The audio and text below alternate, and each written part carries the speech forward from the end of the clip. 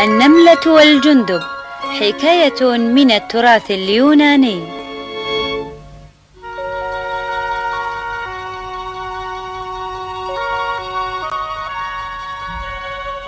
إنه الربيع الربيع الدافئ. أصبح حقل الزهور جنة للحشرات. تحلق الحشرات فرحة سعيدة تحت أشعة الشمس الساطعة. أما حشرة الجندب فهي الحشرة الوحيدة التي تحب اللعب كثيرا وهي الآن في حالة مرح وابتهاج. أهلا بكم جميعا إلى حفلتي هذه. إنه الربيع الربيع الهادئ الدافئ. أهلا وسهلا بكم.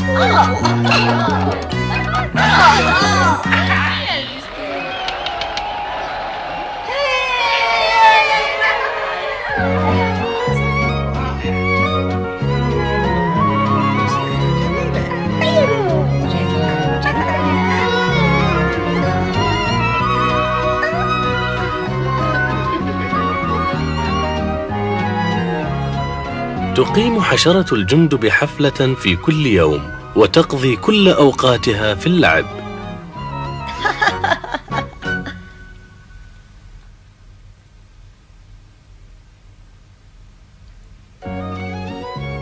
وفي يوم من الأيام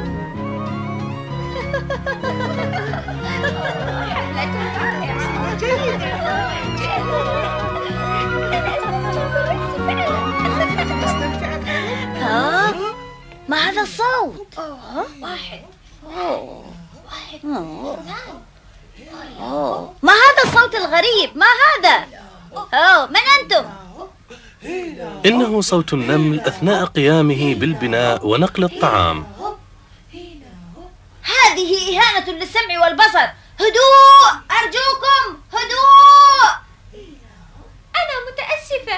لقد أوشكنا على الانتهاء من عملنا. أرجوك. أرجوك أن تتحمل ذلك. ماذا؟ لابد أنك تمزحين لا فائدة من إطالة النقاش معها إنها تحب العمل أكثر من اللعب يا أصدقائي هيا لا تقلقوا. هيا بنا نمرح بسرعة. هيا. آه أنت على حق.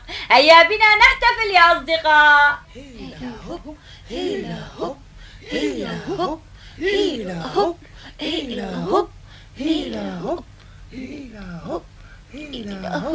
النمل يعمل بجد ونشاط فعلا. لقد غضب النمل كثيرا عندما رأى الجنادب تلهو وترقص دون أن تعمل.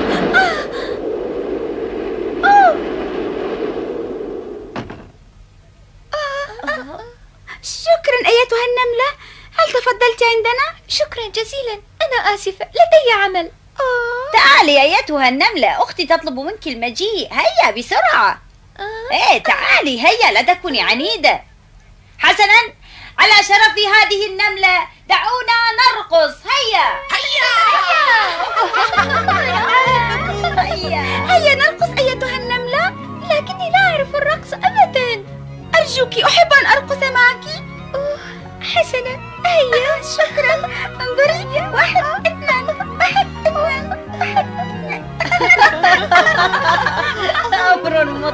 أوبا.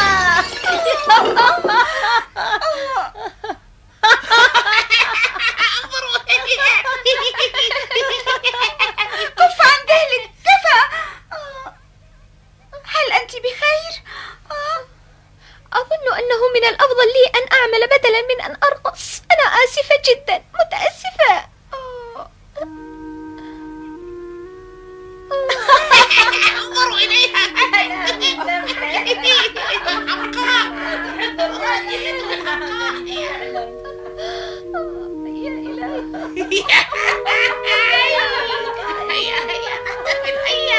لكن الأخت الصغرى للجندب لم تستطع أن تنسى تلك النملة.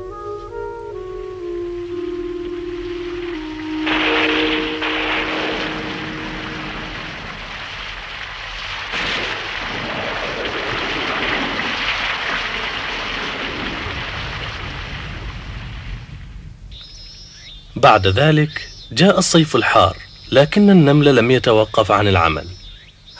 نعمل هيا نعمل هيا نعمل هيا نعمل هيا نعمل هيا نعمل أيتها النملة كيف تعملين في الصيف ها؟ نحن نعمل طوال العام. السباحة في النهر هي أفضل شيء لنا أثناء الصيف. إنها رائعة فعلا. أخي هذا شيء طبيعي. النملة تستغل وقت اللعب في العمل أيضا. تعلم منها يا أخي. دعك من هذا الكلام. أنا أحب اللهو واللعب في الصيف الحار بشكل خاص. أوه هكذا؟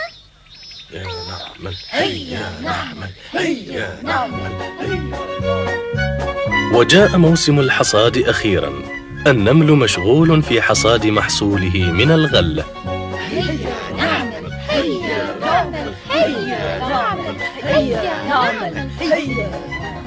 لكن الجندب الكسلان لا يؤدي أي عمل يذكر سوى اللعب والتنقل ولم يلق بالا لنصائح أخته التي حذرته من سلوكه هذا واستمر في إقامة الحفلات.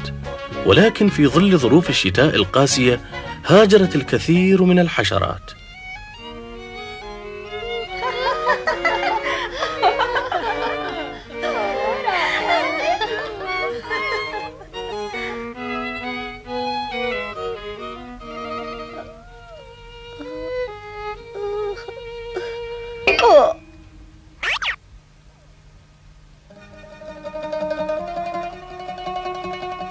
أخي لماذا لا تأتي معي؟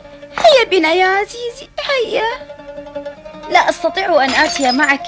اذهبي وحدك اذهبي. آه.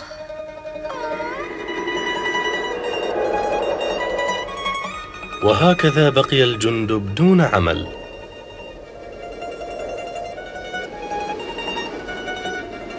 وقد كان الشتاء باردا شديد البروده هو مع هذا البرد تعالي بسرعة هيا هيا اركضي خائفة هيا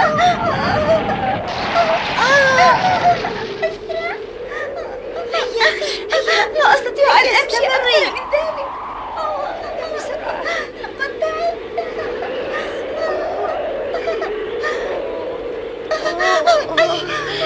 تعبت جدا. سأموت من البرد. لا أستطيع أن أستمر أكثر من ذلك. هيا يا أختي أرجوك حاولي. حاولي. هيا. أنا تعبة جدا. أوه يا إلهي ما هذا؟ هذا بيت نعم إنه بيت النملة. نعم. رائع. سيكون بإمكاننا أن نطلب من النملة أن تبقينا خلال الشتاء. كلا لن نفعل ذلك أبدا. ولم لا؟ أليس من الواجب أن يساعد بعضنا البعض؟ أخي إن النملة عملت وتعبت طوال العام من أجل هذا اليوم العصيب بينما كنا نلعب. نحن لا نستحق كرم وعطف النملة ولا نستحق أيضا أن نشاركها فيما جنته من عملها المتواصل. هيا نعمل هيا نعمل هيا نعمل.